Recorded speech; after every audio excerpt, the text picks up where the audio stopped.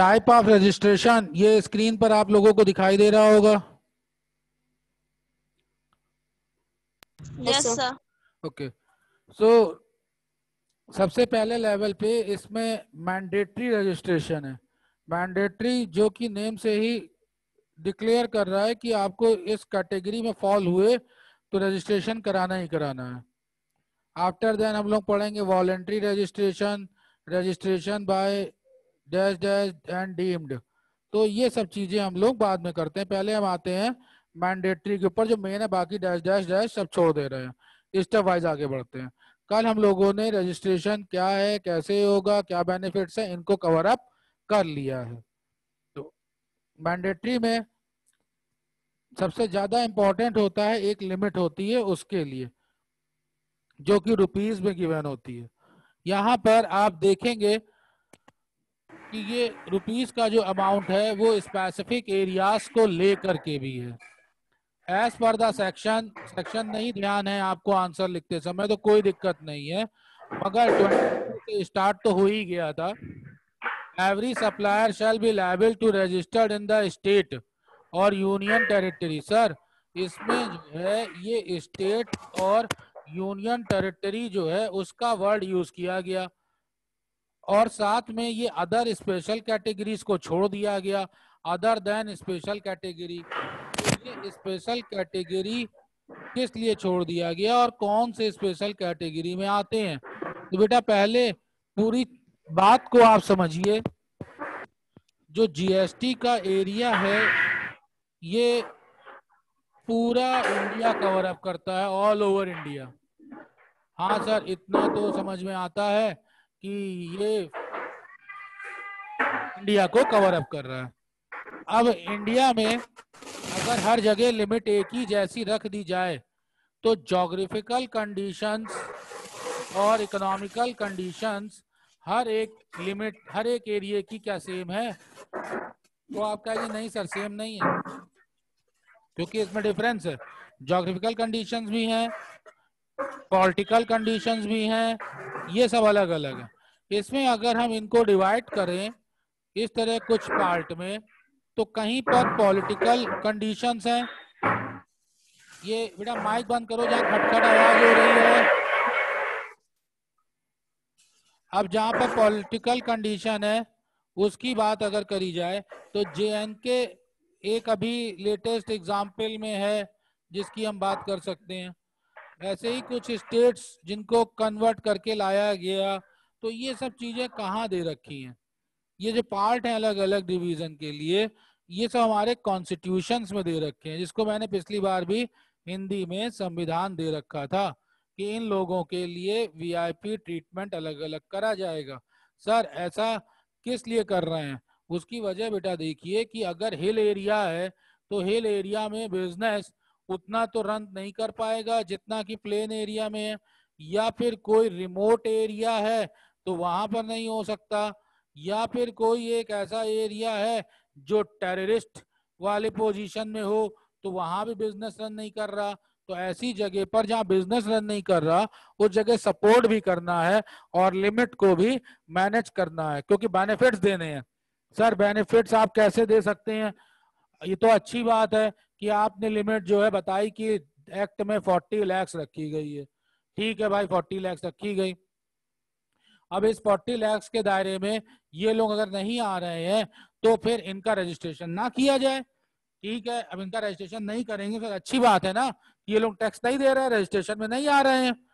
ठीक। इसीलिए मैंने कल आपको बेनिफिट्स पढ़ाए थे। बेनिफिट्स में आपने देखा था कि अगर रजिस्ट्रेशन नहीं होगा तो बहुत सी प्रॉब्लम्स हो जाएँगी। बेनिफिट्स कहीं नहीं मिलेंगे। उस बेनिफिट्स के लिए रजिस्ट्रेशन होना ज़रूरी है। तो अब इस अगर लिमिट की मजबूरी में फंस जाए तो जीएसटी के रजिस्ट्रेशन के जो बेनिफिट्स हैं, वो क्या इन लोगों को मिल पाएँगे? नहीं मिल पाएँगे। इसी वजह से इस कैटेगरी को हम लोगों को समझना ज़रूरी होगा। इस तरीके से यहाँ पर ये देखिए द गवर्नमेंट में request special category dash dash ये सारी थ्योरी है। इसको जब पढ़ना हो तो रिवाइंड करके आप इसको देख लीजिएगा। मैं डायरेक्ट आपको समझाने के लेवल पे आता हूँ। इस तरीके से देखिए गिवन है स्पेशल कैटेगरी स्टेट मीन सबसे पहले स्पेशल कैटेगरी जो कि कम है, उनको हम लोग अलग कर दें। ये स्पेशल कैटेगरी सर कहाँ पर डिफाइन है? मैंने बेटा आपको बताया था कि कॉन्स्टिट्यूशन में जो आर्टिकल है, उनमें डिफाइन है। देखो कॉन्स्टिट्यूशन ऑफ़ इंडिया है। कौन सा आर्टिकल है स्पेशल कैटेगरी के लिए? अभी तो हो सकता है कि ये आपके लिए इंपॉर्टेंट ज़्यादा नहीं हो। मोहम्मद वसी कुछ कहना चाह रहे हैं बताइए।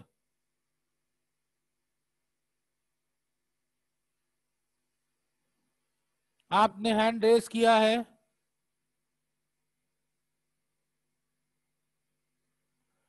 अब यहाँ पर आर्टिकल 279 ए 4G ये हमारे लिए एक इंपॉर्टेंट आर्टिकल है।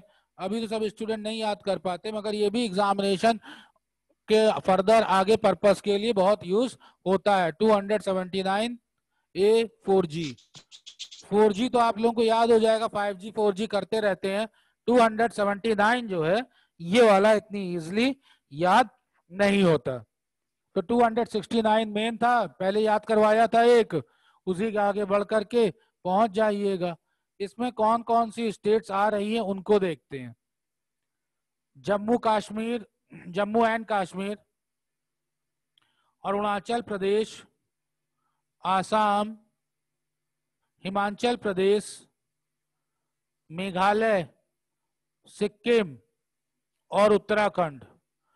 ये जितने भी एरियाज़ हैं, इनमें अगर आप ध्यान दें तो इन सब में हिल से जुड़ा हुआ एरिया है। जो स्पेशल कैटेगरी में आते हैं। The state of Arunachal Pradesh Assam J and K Manipur Meghalaya Mizoram Nagaland Sikkim Tripura Himachal Pradesh Uttarakhand actually fall under the special category मगर इसमें से सबको नहीं रखा गया है। अब सर इतना पढ़ते पढ़ते दिमाग में आएगा नहीं। तो बेटा मुझे भी लग रहा है कि ऐसे में आप बोर भी हो सकते हैं। तो बेहतर तरीका है इसको आपको बताने का। वो आपको शायद ज़्यादा अच्छा लगेगा। किस तरह से देखिएगा इसको। ये जितना लिखा पढ़ा है, उसकी ये प्योर समरी है। ये अगर आप अपनी कॉपी में बना लेंगे तो आपके लिए चैप्टर का पोर्शन और एक्ट का कॉन्सेप्ट एकदम क्लियर हो जाएगा। यहाँ पर सबसे पहले जब हम बात करते हैं तो जीएसटी की बात करते हैं। उसी में पढ़ रहे हैं। तो इसमें से जी डिफाइन करता है गुड्स को। तो ये बेटा गुड्स की लिमिट के लिए चला गया। एस डिफाइन करता है सर्विसेज़ के लिए। यहाँ पर रजिस्ट्रेशन जो लोग दोनों या बोथ में कर रहे हैं, उनकी बात हो रही है देखिए। बहुत ध्यान से बात को समझिएगा। सिर्फ़ अगर गुड्स हैं तो क्या बात होगी? गुड्स हैं सर्विसेज़ हैं, दोनों के कॉम्बिनेशन में है तो क्या बात होगी? क्या इतना समझ में आ रहा है? यस सर ओके अब जब लिमिट करने की बात कर रहे हैं तो फोर्टी लैक्स तो आपको याद ही है तो फोर्टी लैक्स को बाद में जाते हैं। फोर्टी का आधा करते हैं ट्वेंटी ट्वेंटी का आधा करते हैं टेन इसमें से जो स्पेशल कैटेगरी में सबसे इम्पोर्टेंट स्टेट है उनको देखते हैं। ये स्पेशल कैटेगरी के सबसे इम्पोर्टेंट स्टेट हैं जिनकी हमें, जिनको हमें हेल्प करनी ही करनी है। यहाँ पर लिविंग स्टैंडर्ड भी बहुत पीछे है शेड्यूल ट्राइब्स भी बहुत पीछे हैं। तो ये फोर जो स्टेट हैं, इनको आपको याद कर लेना होगा। और आसानी आपको इसलिए रहे याद करने के लिए बता दें, अगर इंडिया का थोड़ा सा मैप ज़िंदगी में कभी भी इस तरीके से अगर देखा होगा तो वो थोड़ा ऐसे होगा यहाँ लास्ट में। थोड़ा ज़्यादा चला गया इस तरीके से थोड़ा लास्ट में होगा। यहाँ पर। ये वाला एरिया दिख रहा है? लास्ट वाला? यस सर ये बाउंड्री लाइन है। इसके इधर एक कंट्री है। क्या नाम है उसका?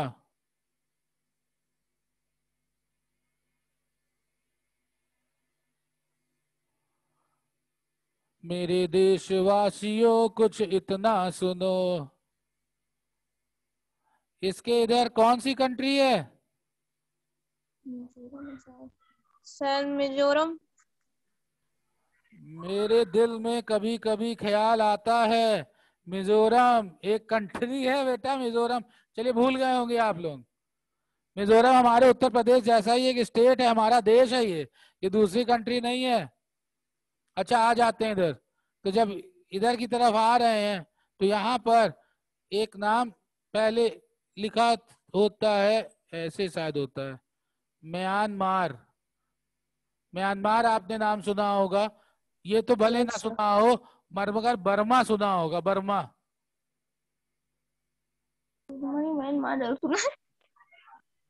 तो ये बर्मा ज़रूर सुना होगा। अगर हिंदुस्तान की पैदाइश है तो आज़ाद दिन फौज जब एंट्री करी थी उधर से तरफ़ से तो बहुत ही इंपॉर्टेंट चीज़ें हैं देश हित की सब बातें हैं। तो ये हमारी एक कंट्री का पोर्शन है, जो उधर की बाउंड्री लाइन बनाता है। और उस बाउंड्री लाइन पे लिविंग स्टैंडर्ड जो है, वो बहुत ही पीछे है। वहाँ के समय में जब हम बात करते हैं, इसको आपको याद रखना होगा ना इस लिमिट को? तो इसलिए याद रखिए कि जब हम ईस्ट इंडिया की तरफ़ जाते हैं, ये अंग्रेज़ों वाली ईस्ट इंडिया नहीं है ईस्ट की तरफ़ जाते हैं। तो बच्चों जल्दी से बताओ यहाँ पर ये सबसे ऊपर जो दे रखा है ये कौन सा स्टेट आता है?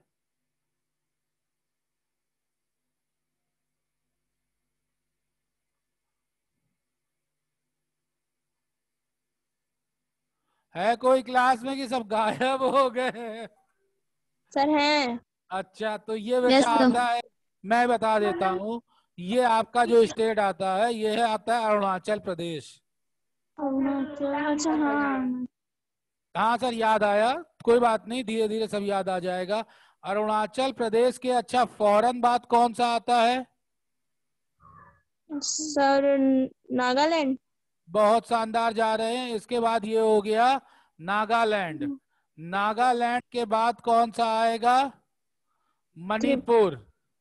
मणिपुर आएगा। और मणिपुर के बाद कौन सा स्टेट आएगा? मिजोरम। मिजोरम। मिजोरम के बाद अच्छा। कौन सा स्टेट आएगा? त्रिपुरा। कोई नहीं आएगा। नमस्ते थैंक यू देश की बाउंड्री लाइन आ गई। करेक्ट यहाँ पे चार दिख रहे थे इसलिए तुमने तरह से त्रिपुरा लास्ट में बोल दिया। तो अब देखिए क्या है, इस जगह समझिएगा कि इसको कैटेगरी तो स्पेशल है ही है, मगर सर जब स्पेशल कैटेगरी है तो नागालैंड को ले लिया, ये हमें समझ में आ गया। मणिपुर को ले लिया, ये समझ में आ गया। मिजोरम ले लिया, ये समझ में आ गया, क्योंकि ये बेटा यहाँ पर म्यांमार और बांग्लादेश म्यांमार वर्मा जो कंट्री है, वहाँ पर इधर से इसकी बाउंड्री लाइन बनाते हैं और यहाँ पर लाइफ बहुत ही टफ है, ये वास्तव में स्पेशल कैटेगरी वाले हैं। आप यहाँ जाए तो आपको पता चल जाएगा कि लाइफ कितनी टफ होती है। तो इनके लिए स्पेशल कैटेगरी दी गई और ये one two three four state हो गए। इमिडिएटली बच्चों के मन में नाम बात आती है, सर, ये वन टू थ्री फोर आप बोल रहे हैं, मगर ये भी तो इसके ऊपर है, इसको इस कैटेगरी में क्यों नहीं रखा गया? इसकी लिमिट जो है वो बीस लाख क्यों कर दी गई? इसको इसके साथ क्यों नहीं रखा गया? तो बेटा समझिए अरुणाचल प्रदेश की जो पोजीशन है, उसके एक तरफ़ ये चाइना है। और यहाँ पे जो पोजीशन है, वो एरिया और स्टेट भी बहुत बड़ा है। यहाँ पर पोजीशन थोड़ी सी बेटर है किनके कंपैरिजन में? ये नीचे के तीन के कंपैरिजन में। इसलिए इनको ज़्यादा मदद की ज़रूरत है। इस ज़्यादा मदद की ज़रूरत में स्टेट आ गया मणिपुर, मिजोरम, नागालैंड। त्रिपुरा कहाँ पड़ता है बच्चों?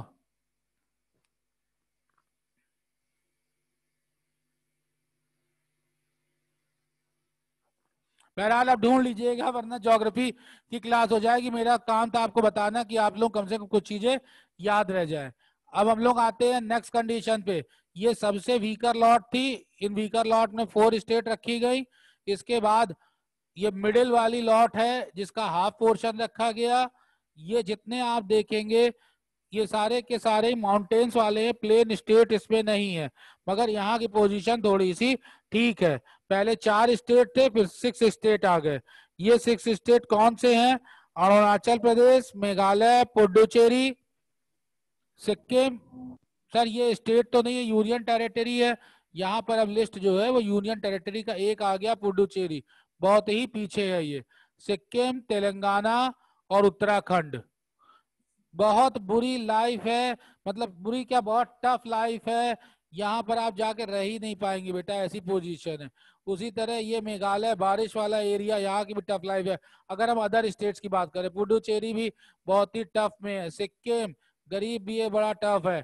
और क्योंकि उत्तराखंड हमसे एकदम बगल में है तो आप यहाँ की पोजीशन देख सकते हैं। यहाँ तो रहना भी दिक्कत है। कहाँ आप लखनऊ में रह रहे हैं तो इस जगह के लिए स्पेशल कैटेगरी ट्वेंटी लैक्स की रखी गई। तो अब आपका काम क्या है कि इनको याद कर लेना कि हम लोग किस किस कैटेगरी में टेन को रखेंगे किस कैटेगरी में ट्वेंटी को रखेंगे सर फिर बाकी जो बच जाए उन सबको फोर्टी में ले जाना। अच्छा मैं अगर एमपी की बात करूँ तो एमपी कितने लाख के लिमिट में आएगा? फोर्टी में। फोर्टी में बिल्कुल ठीक। इसके बाद में अब आइए सर्विस के लिए।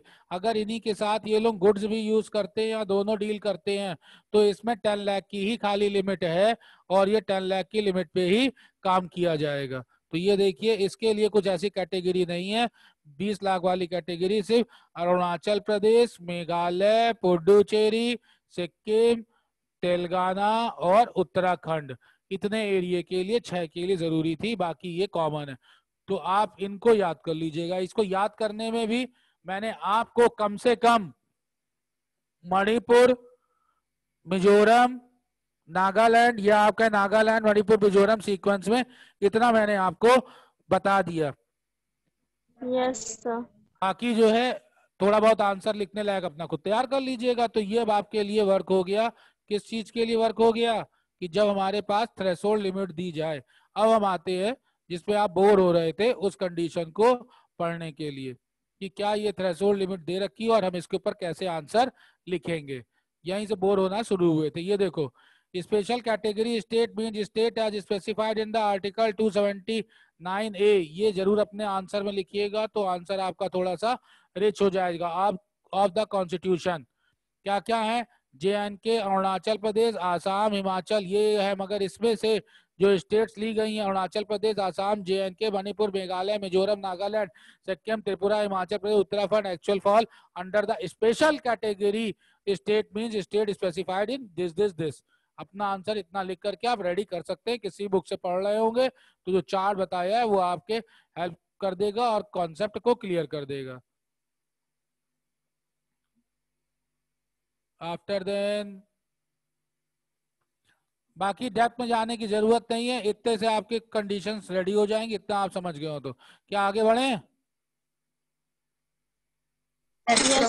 तो दो लिमिट मैंने आपको बताई खाली गुड्स के लिए बताया गुड्स और सर्विस दोनों को लेकर के बताया। यहाँ पर अब आते हैं थ्रेसोल्ड लिमिट के लिए। पान मसाला टोबैको याद आ रहा होगा pan masala tobacco hazardous to life कितने परसेंट 28 परसेंट याद आया? यस सर ठीक। तो यहाँ पर भी कैटेगरी में देखिए मणिपुर मिजोरम नागालैंड। सीक्वेंस से बात करें तो नागालैंड मणिपुर और मिजोरम त्रिपुरा इन सबको अलग कर दो बाकी सबको एक जैसे। तो ये चार आप याद रखिएगा मगर गुड्स के केस में गुड्स के केस में ये वाली लिस्ट आपको याद रखनी है। यस yes, सर बुक होगी, उसे नोट कर लीजिएगा, नहीं तो इस वीडियो को रिवाइंड करके देख लीजिएगा। अच्छा अब हम आते हैं। एग्रीगेट टर्नओवर कौन बताएगा कि जो ये लिमिट बार बार देखी जा रही है नौचम उत्तर प्रदेश में है तो ये 40 लैक्स की लिमिट देखी जा रही है। ये 40 लैक्स का जो हम लोग बिज़नेस करेंगे टर्नओवर करेंगे, उसके लिए बात हो रही है। इस 40 लैक्स में क्या क्या काउंट होगा? ये कौन बताएगा? एग्रीगेट टर्नओवर का क्या मतलब है बेटा?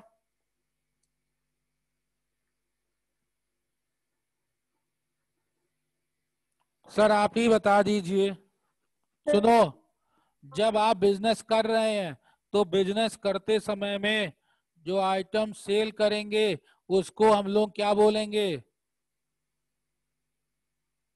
एग्रीगेट टर्नओवर जो हम लोग सेल करते हैं उसको हम लोग क्या बोलेंगे? सप्लाई सप्लाई अब जो सप्लाई होगी वो सप्लाई ज़रूरी है कि सब चीज़ें टैक्सेबल हो। कुछ ऐसे भी तो आइटम होंगे जो एग्ज़ाम होंगे जिनके ऊपर टैक्स नहीं लगेगा। सर तो अगर आपने मान लीजिए एग्ज़ाम 20 लाख का किया 20 लैक्स का टू टू एल लिख देते 20 लैक्स और जो टैक्सेबल है इनका आपने 25 लैक्स किया। ठीक? तो अगर दो इतना टोटल बिज़नेस किया तो टोटल टर्नओवर आपका कितने रुपए का हो गया? फोर्टी फाइव लाख 45 लाख का जो टोटल टर्नओवर हो गया। तो ये जो टर्नओवर है इसको लेकर के अब आप रजिस्ट्रेशन लिमिट में आ जाएँगे कि नहीं आ जाएँगे?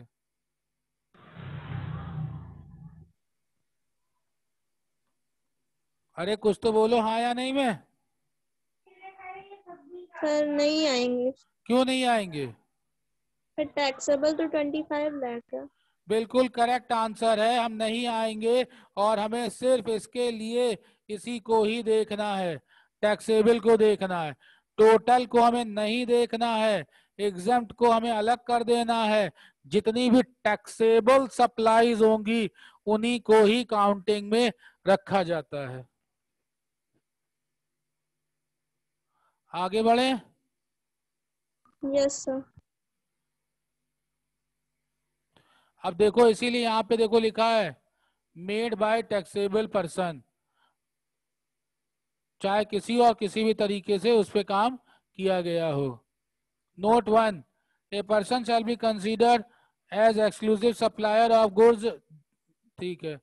For calculation of aggregate turnover और supply made by the branches under the same PAN ये सब पहले बता चुका हूँ कि पैन नंबर वगैरह होगा। तो कल आप लोगों ने पैन नंबर वाला वीडियो लेक्चर दोबारा जा करके देखा था? कितने डिजिट का पैन नंबर होता है? Sir fifteen digit fifteen digit का। कौन बोल रहा है बेटा? Ankita. Ankita. Very good Ankita. आपका बहुत बेकार आंसर है। पैन जो होता है वो टेन डिजिट का होता है। इसका मतलब कल आपने इसको जा करके नहीं देखा। पिछली वाली क्लास में पूरा वीडियो पूरी रिकॉर्डिंग बताई थी। एक एक चीज़ दे रखी थी। Nagma Bano. Yes sir PAN का फुल फॉर्म क्या होता है? सर परमानेंट अकाउंट नंबर कितने डिजिट का होता है? सर फिफ्टीन डिजिट का होता है। फिफ्टीन डिजिट का होता है। डिजिट का होता है सर फिफ्टीन डिजिट कल की क्लास में मैंने हिंट भी दे करके पढ़ाया था। One two three four five GST GST होता है। जीएसटी जो है जीएसटी जो है वो फिफ्टीन का है। पैन टेन डिजिट का होता है। एक काम करिएगा पैन वाला पूरा क्लास पूरा रिकॉर्ड उसमें जितना डेप्थ में दे रखा है उसको पढ़ लीजिएगा ताकि हम लोग अगली क्लास में बात कर सकें क्योंकि ये आपकी आइडेंटिटी से रिलेटेड होगा बिज़नेस के लिए। आंसर को एक्सटेंड देगा क्वालिटी देगा। समझ गए?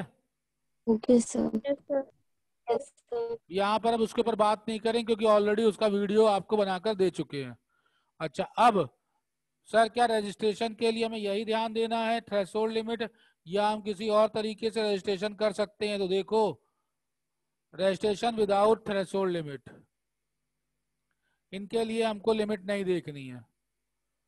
किन किन के लिए अगर हम बात करें the following categories of person shall be required to be registered under this act even if their aggregate turnover is below threshold limit किन किन लोगों के लिए नहीं देखनी उनको रजिस्ट्रेशन कराना ही कराना है। Number one person making any inter state taxable supply example जल्दी से आप बताइए। इसका क्या मतलब है? Person making any inter state taxable supply sir अगर वो इंटर स्टेट में सप्लाई कर रहे हैं जैसे जैसे कि एमपी यूपी बिल्कुल ठीक स्टेट आपका बदल गया। मतलब इसमें आईजीएसटी आ गया। और सेंटर इसमें इन्वॉल्व हो जाएगा। तो ऐसी कंडीशन में आपका रजिस्ट्रेशन कराना कंपलसरी है। पहला पॉइंट दूसरा casual taxable person making taxable supply ये कौन?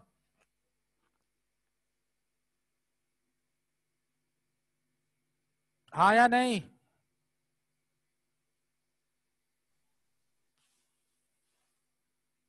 अगर नहीं आता है तो नो बोल दिया करो ताकि मैं आगे बढ़ जाऊँ।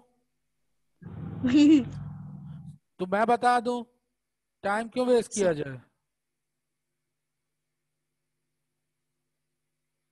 सर नहीं पता। तो कैजुअल जो टैक्सेबल पर्सन है इनको समझिए ये पर्सन रेगुलर रूटीन बिज़नेस नहीं करते हैं। ठीक? कल को ये किधर निकल जाए क्या हो जाएगा?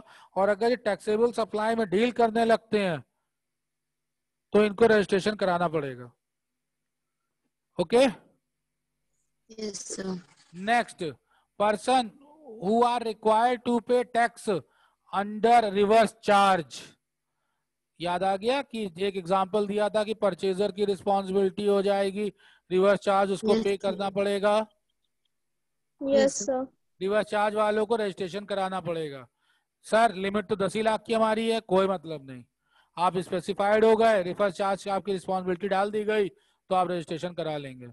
Next fourth person who are required to pay tax under section nine electronic commerce operator शायद आप समझ गए होंगे इलेक्ट्रॉनिक कॉमर्स ऑपरेटर कौन होता है? Yes sir. याद याद करो नॉर्मल चार्जेस रिवर्स चार्जेस पढ़ाया था? यस था। तो ये जो ऑपरेटर होगा उसको रजिस्ट्रेशन अपना कराना पड़ेगा। Fifth non resident taxable person making taxable supply इसको तो हर हालत में ध्यान देना है। सर इसको आप हर हालत में क्यों बोल रहे हैं? क्योंकि ये इंडियन नहीं है ये भारतीय नहीं है। ये बाहर Yes, का है गायब हो जाएगा। अगर हम 40 लाख की लिमिट का इंतज़ार करने लगेंगे तो 10 लाख का काम करके जिस पे टैक्स देना चाहिए था दोबारा इंडिया आएगा ही नहीं भाग जाएगा। तो क्या करेंगे आप ऐसी कंडीशन में? तो जो जितना जहाँ मिले, वहीं पर उसको पकड़ लो। तो यहाँ पर जितने पॉइंट आप देखेंगे, उसमें ध्यान दीजिएगा कि इनके ऊपर चांसेस 40 लाख के नीचे के भी ज़्यादा से ज़्यादा बन रहे हैं। और ये भाग ना जाएँ, इसलिए इनको कंपलसरी कर दिया जा रहा है कि थ्रेशोल्ड लिमिट के बिना भी आप रजिस्ट्रेशन करवाइए।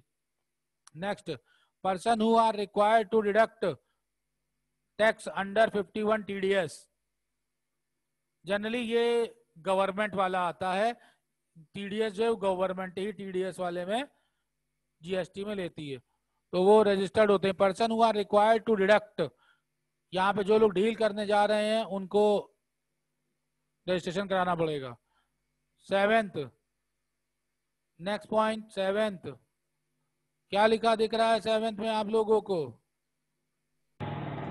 Person who supply goods or services or both on behalf of other taxable person whether as an agent or ये otherwise.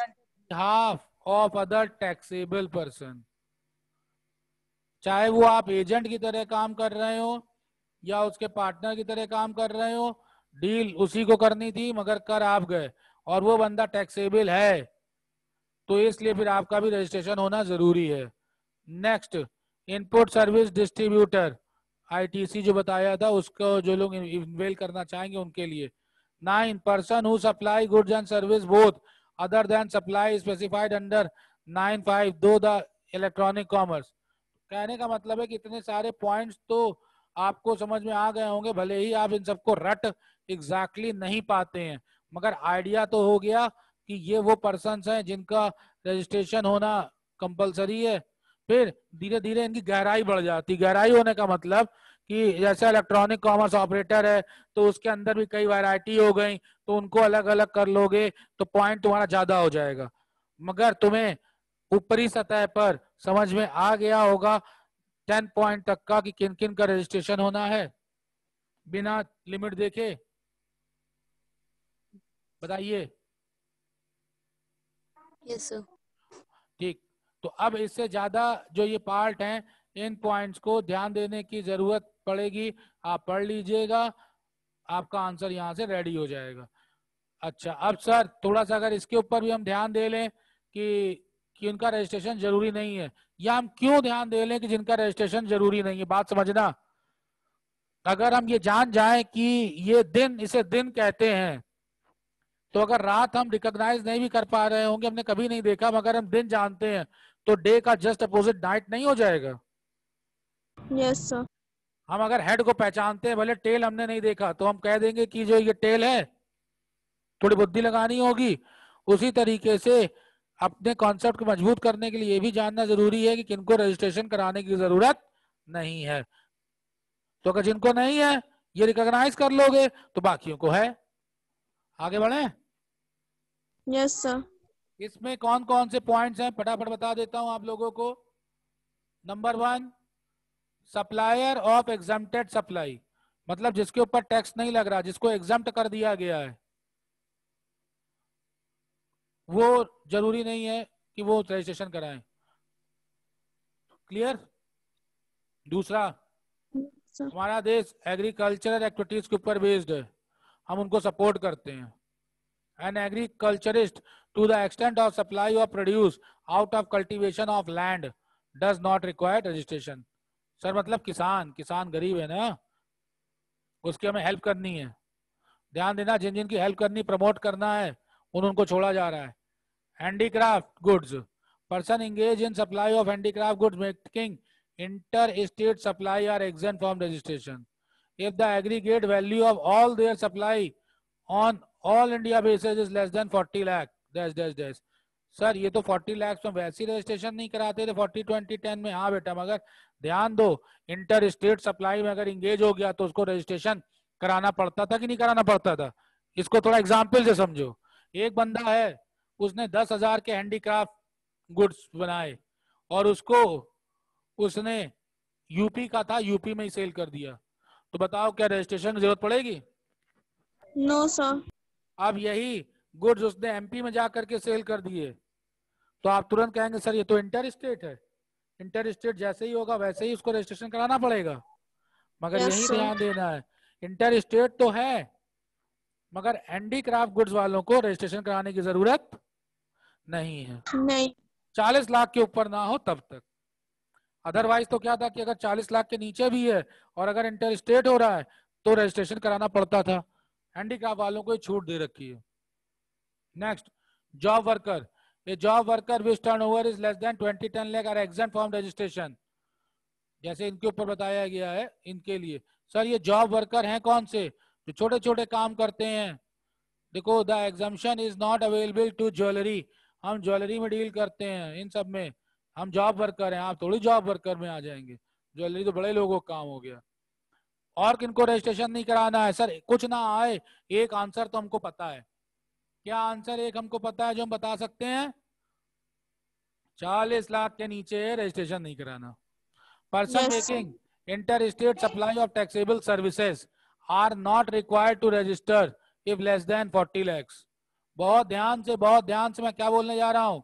सर्विसेज़ की बात हो रही है गुड्स की बात नहीं हो रही है। यस सर अगर आप 38 लैक्स के गुड्स डील करते हैं एमपी महाराष्ट्र में जाकर सेल करते हैं तो रजिस्ट्रेशन कराना पड़ेगा। मगर सर्विसेज़ अगर हैं तो रजिस्ट्रेशन कराने की ज़रूरत नहीं है। दूसरा सर्विस प्रोवाइडर उसके लिए 20 लाख की लिमिट आपको पता ही है कि सर्विस प्रोवाइडर के लिए 20 लाख की लिमिट है। Person who supply service supplying through e commerce operator are not required. तो यहाँ पर सर्विस से रिगार्डिंग बात है ठीक है सर। यहाँ पर भी सर सर्विस से रिगार्डिंग बात है ठीक है सर। मगर फिर ये रुपए का डिफरेंस किस तरीके से? जो टॉप वाली बात है वो इंटर स्टेट की बात ली जा रही है। आईएस मतलब इंटर स्टेट यहाँ पर लिखा। और सेकंड वाले में ई कॉमर्स को ऐड किया जा रहा है। ई कॉमर्स ऑपरेटर अब आप सब लोग ई कॉमर्स ऑपरेटर को बहुत ढंग से पहचानते होंगे। ठीक। ये वो बंदे हैं जिनको रजिस्ट्रेशन कराने की ज़रूरत नहीं होती। Service provider notified by government then next है नोटिफाइड बाय गवर्नमेंट सर इसका क्या मतलब?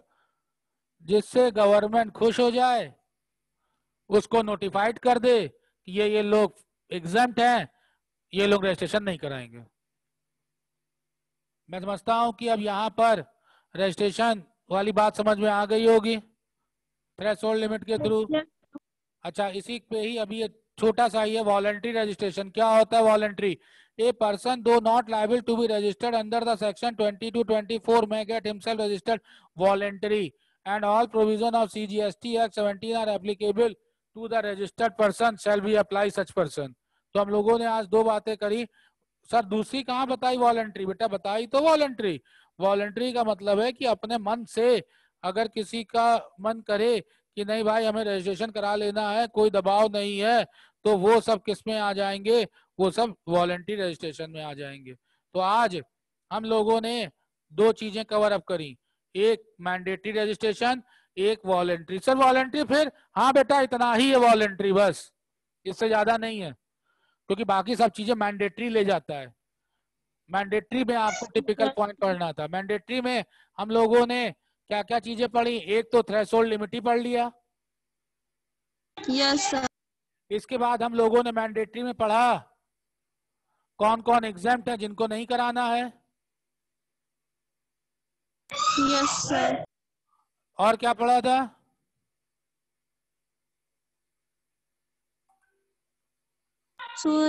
कंपल्सरी फॉर रजिस्ट्रेशन जो है इनको कंपलसरी पढ़ रहा है। तो देखो मैंडेटरी में हम लोगों ने पहले पॉइंट ए पढ़ लिया था।